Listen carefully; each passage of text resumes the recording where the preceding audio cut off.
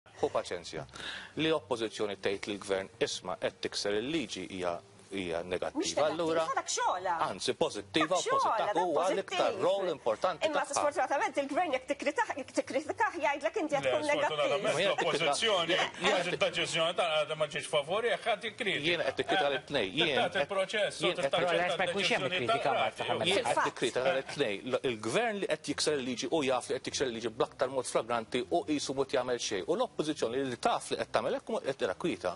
Din għalija. Ma għaliex qed tara qiegħda kwieta, sorry minn ħadd meta tgħidlek Caroline li ovvjament huwa qiegħed hemmhekk biex fl-aħħar mill-aħħar jissalvagwardja l-interessi tal- Tajjeb, tajjeb, mela, mela, l-Alleanza Bidla qiegħda minn quddiem tgħid isma' il-liġi, il-Kostituzzjoni ta' Malta, in-newtralità ta' Malta, skont kif inhi miktuba, skont kif il-Maltin kollha ivvutaw għaliha qed tiġi miksura. Alfred Sant, minnaħa tal-Labours, qam u qal qed tiġi miksura mhux se nivvota favorija. Hemm nies oħrajn li qed jgħidu l-istess affarijiet anka barra minn Malta. L-oppożizzjoni x'qalet fuqha? il-Gvern Malti x'kienet ir-reazzjoni tiegħu meta ġiet ċallenġjat ejja niddiskutu għaliex xejn. Mela Fejn jaqbel lilhom jitkellmu joqomsu fuq żewġ siġġijiet huwa xi liġi tgħid hekk u xi liġi tgħid hekk. Imma l-iktar liġi importanti li l-liġijiet l-oħra kollha mibnija fuqha,